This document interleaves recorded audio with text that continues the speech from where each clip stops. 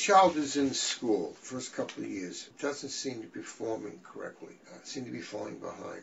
Parents blame each other for it. Is that a good way of approaching? I think you've been sitting in my office uh, and watching me work because the first evaluation that I do on every family, invariably one parent comes in because of either friction, divorce, work, different situations. Uh, other parent not even thinking it's important enough to come in.